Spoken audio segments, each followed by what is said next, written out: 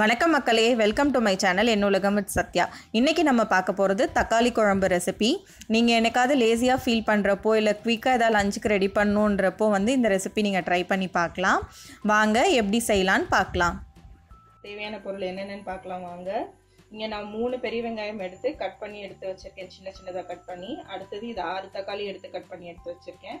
மூணு பச்சை மிளகாய் எடுத்து கட் பண்ணி வச்சுருக்கேன். தாளிக்கிறதுக்கு பார்த்தீங்கன்னா கடுகு கருவேப்பிலை கொத்தமல்லி எடுத்து லாஸ்ட்டாக தூரத்துக்கு கொத்தமல்லி எடுத்து வச்சுருக்கேன்.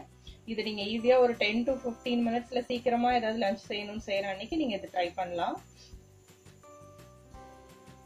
அடுத்தது தேவையானது என்னன்னு பார்த்தீங்கன்னா இஞ்சி பூண்டு இடித்து எடுத்து வச்சுருக்கேன். ஒரு ஸ்பூன் கல் உப்பு மஞ்சத்தூள் மிளகாத்தூள்.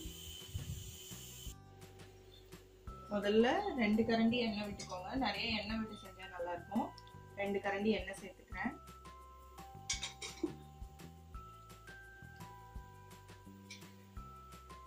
எண்ணெய் சூடானதும் நம்ம எடுத்து வச்சிருக்க கடுகும் கருவேப்பிலையும் சேர்த்துக்கலாம். ஃபர்ஸ்ட் கடுகு சேர்த்துக்கலாம்.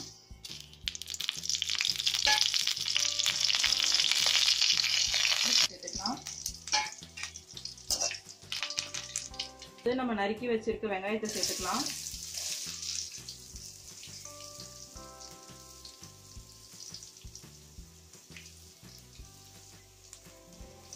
இதில் நீங்கள் ஆனியன் நிறைய சேர்த்தா தான் நல்லா இருக்கும்.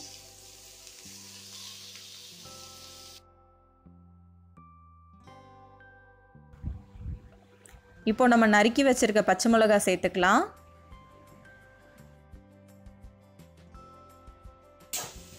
அடுத்தது நம்ம எடுத்து வச்சிருக்க இஞ்சி பூண்டு இடிச்சதை சேர்த்துக்கலாம். பச்சை இஞ்சி பூண்டோட பச்சை வாசனை போயிடுச்சு. இப்போ நம்ம எடுத்து வச்சிருக்க தக்காளி சேர்த்துக்கலாம்.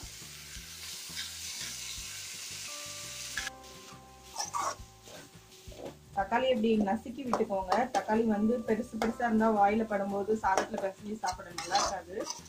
உங்களுக்கு நல்லா குழஞ்சி இந்த மாதிரி பண்ணும்போது குழஞ்சிருச்சுன்னா உங்களுக்கு நல்லா இருக்கும் கிரேவி. தக்காளி நல்லா வதங்கிடுச்சு. இப்போ நம்ம உப்பு மஞ்சத்தூள் எல்லாம் சேர்த்துக்கலாம்.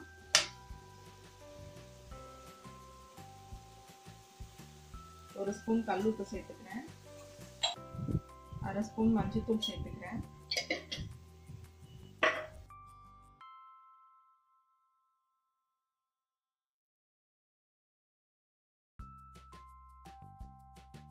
நம்ம ஏற்கனவே பச்சை மிளகா சேர்த்துருக்கிறதுனால நான் அரை ஸ்பூன் மிளகாய் தூள் மட்டும் சேர்த்துக்கிறேன்.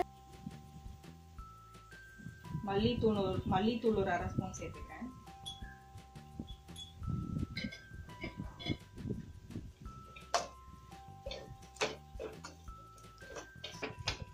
மசாலாவோட பச்சை வாசனை எல்லாம் போகிற வரைக்கும் வதக்குங்க.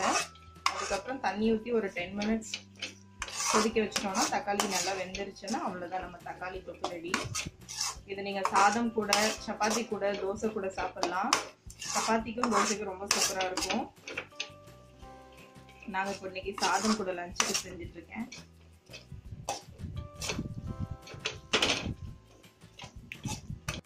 மசாலாவோட பச்சை வாசனை எல்லாம் போயிடுச்சு. இப்போ நான் ஒரு ஒரு கிளாஸ் அளவு தண்ணி சேர்த்துக்கிறேன். இந்த கிளாஸ் அளவு தண்ணி உங்களுக்கு ரொம்ப தண்ணியாக வேணும்னா நீங்கள் இன்னொரு கிளாஸ் சேர்த்துக்கலாம். கொக்கு மாதிரி வேணும்னா ஒரு கிளாஸ் தண்ணி போடும் தக்காளிலே கொஞ்சம் தண்ணி விடும். அவ்வளோதான் நம்ம மூடி போட்டு வேக வச்சிடலாம். நான் ரெண்டு கிளாஸ் தண்ணி சேர்த்துக்கிறேன். உங்களுக்கு திக்காக வேணும்னா ஒரு கிளாஸ் தண்ணி விட்டுக்கோங்க. கொஞ்சம் குழம்பு மாதிரி வேணும்னா ரெண்டு கிளாஸ் விட்டுக்கோங்க. நான் இன்னைக்கு குழம்பு மாதிரி தான் செய்ய போகிறேன் சாதத்துக்குன்றதுனால. அதனால நான் ரெண்டு கிளாஸ் ரெண்டு பெரிய கிளாஸ் அளவு தண்ணி விட்டுருக்கேன். இது அவ்வளோதான் இது ஒரு டென் மினிட்ஸ் கொதிச்சுதுன்னா நம்ம குழம்பு ரெடி தக்காளி தொக்கு ரெடி